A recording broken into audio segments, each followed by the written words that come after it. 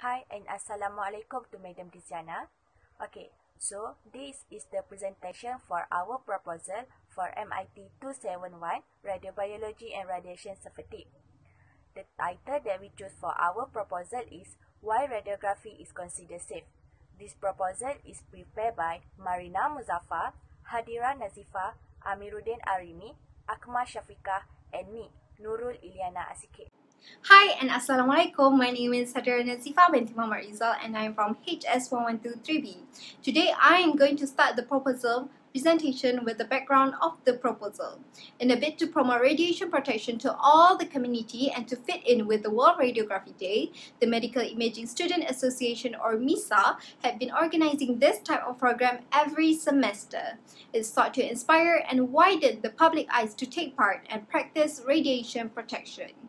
Why is Radiography Considered Safe is a program that is expected to be conducted online throughout this October to February semester. This event is to nurture the public that radiation protection should be applied throughout any radiation procedure. This program is conducted suitable with a group of students from HS112, Diploma in Medical Imaging, Faculty of Health Science, UITM Selangor Branch, Campus Puncak Alam. To get the e-certificate and merits, Participants need to collect all the three codes that are shown during the program with Google Form registration before the program starts and after it finishes. The program is conducted to spread the excellent knowledge or awareness about radiation protection among public people, especially students in UITM Puncak Alam. The purpose of this proposal is to apply budget for this program and the approval from the Dean and the Student Council representative or Majlis Perwakilan Pelajar with the Medical Imaging Student Association or MISA to hold this Why is Radiography Considered Safe program. That's all from me. Thank you and I will pass my presentation to Nur Iliana Asikin. Thanks to Hadira. Hi, my name is Nurul Iliana Asikin. Now I will explain about the objective of this program. Our main purpose of program Why Radiography is Considered Safe is to spread an education about radiation to people. Reason behind this is to increase their knowledge in this field by giving a necessary information about radiation protection at the radiology department. We telling them what is radiation protection device and also a detail of safety in using it. Second, as a strategy to stop and hesitation.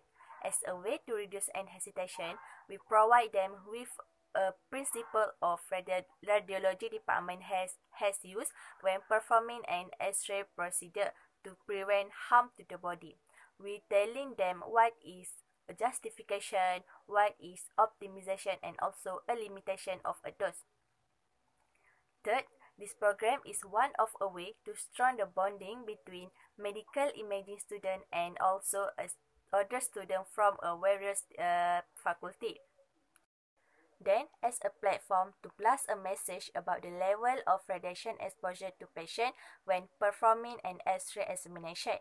It is because we think by giving them an information about uh, exposure dose, it will change their perspective about radiation and effect of radiation, especially about the cancer.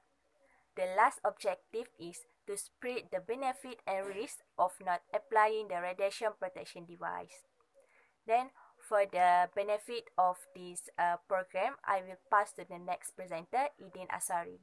Hi, Assalamualaikum. My name is Muhammad Amiruddin Arimi bin Asari. I'm from HS1123B and now I'm going to talk about the expected benefits for this program. There are four keywords that we have highlighted for this particular program. First is changing perspective.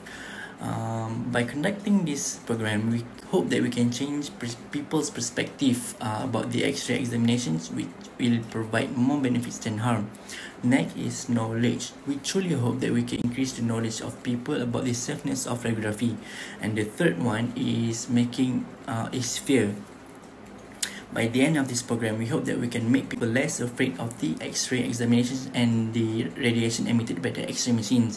And last but absolutely not least, we uh, hope we can tell the truth to counter the false information about the radiation emitted from the radiographic examinations. That's all from me. We move on to the next point. Hi, Assalamualaikum. My name is Marina binti Muzaffar. We are targeting all UITM Puncak Alam students as for the target of participant. This is because even though we are studying in the same campus, we hardly even know what each other are studying about. So we want to take this opportunity to approach other students to teach them about the real fact on radiography. As for the event detail, we are planning to do this event on the 8th of November 2020 as it falls on the radiographer day which make it perfect for a radiographic talk. We are planning to do a two hour long event for the students to avoid the student from getting bored from a hours long talk and we are doing this event on a online platform Webex as it can be easily accessed by any student from any places.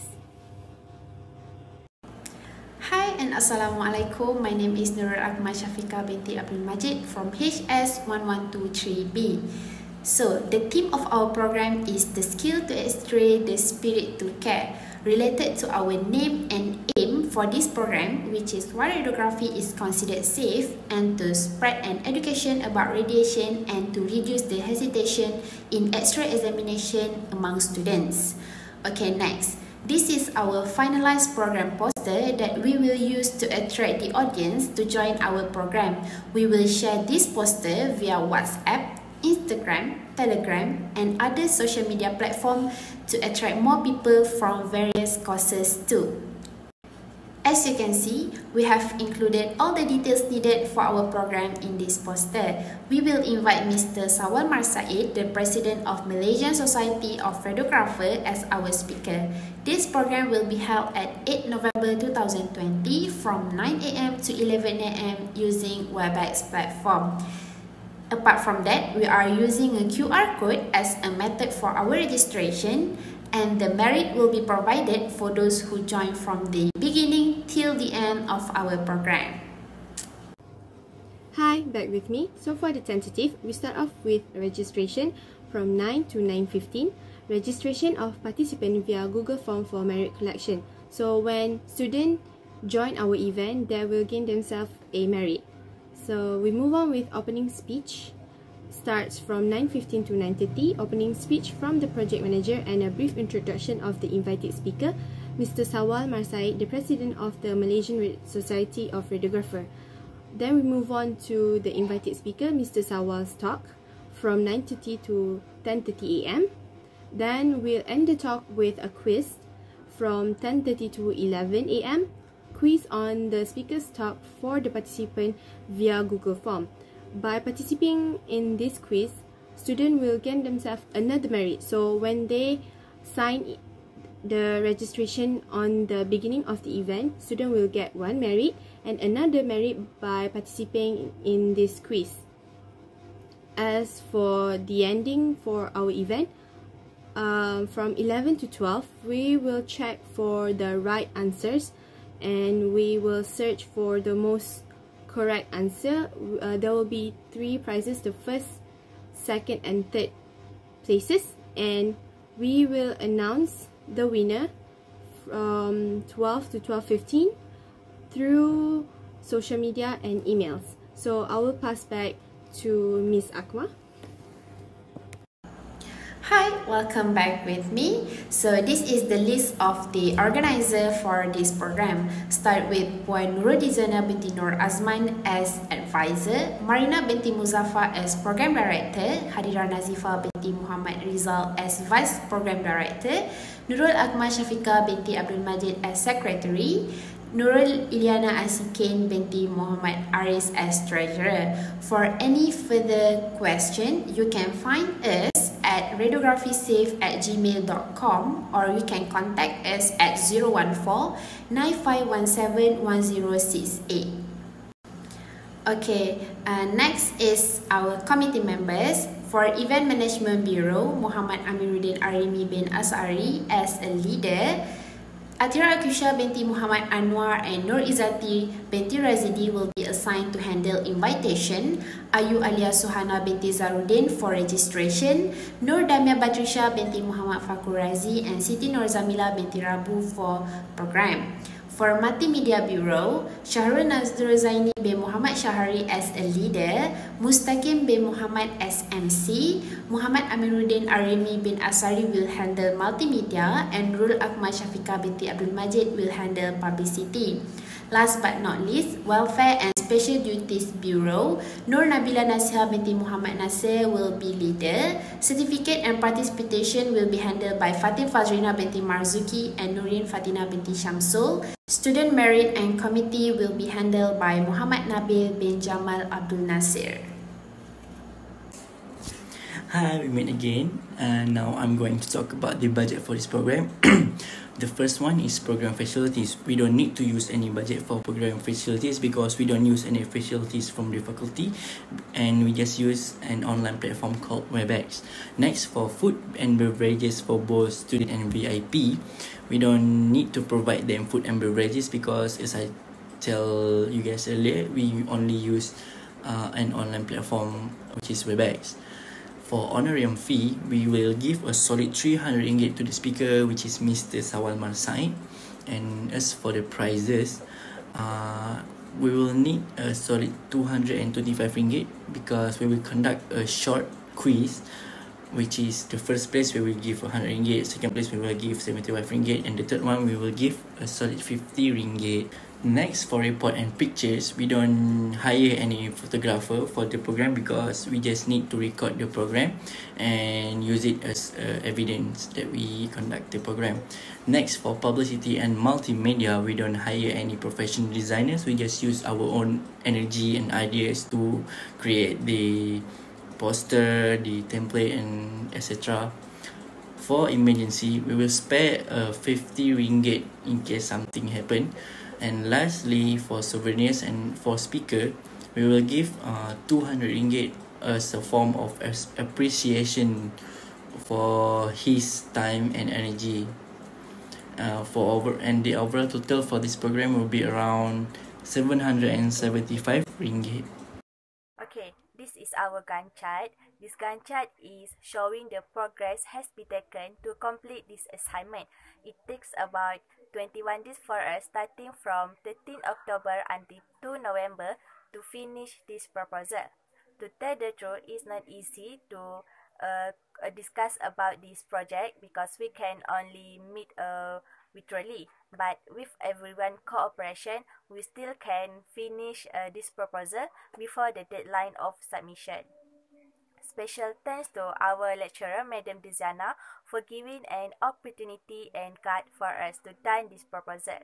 Okay, as we can see here, this Gantt chart is illustrate that the longest time has been taken is to organize the commit of program. It is because we need a time to find a people to volunteer in this program. Then, to organize the background of this program also takes time because we are brainstorming to produce a good idea to making this program is success and memorable. I think that's all from me and now I will pass to the next presenter. Next, I will continue my presentation on executive summary. Due to radiation accident, the word radiation brings a clear image in mind about how dangerous it is to the public people. Nuclear power plant accidents that happened in Chernobyl, Ukraine on April 26, 1986 and radiation leakage at a nuclear power plant in Fukushima, Japan resulting in an earthquake and tsunami on March 11, 2011. It creates a fear and phobia in ionizing radiation. People have the mindset that it causes them cancer and they do not have the knowledge that they are actually exposed to radiation every single day. Why is radiography considered safe is an academy and scientific program with a target of 150 participants. This program is open to the public but specifically targeted UITM students. The date picked to conduct this program is on 8th November 2020 in conjunction with World's Radiographer Day that falls on Sunday through Cisco WebEx due to no limitation of participants. The expected benefit is the participants gets to know why radiography is still available in the medical field. It can correct the impression and get to know how the medical workers protect and reduce unnecessary radiation. The benefits to the students are they get e-certificate and two merits for joining the program and participating in a contest in the middle of the program. The aims of this program are to improve their knowledge regarding radiation protection, including their actions and their devices. This program can reduce hesitation in X-ray procedure and understand the benefits and risks of not applying radiation protection.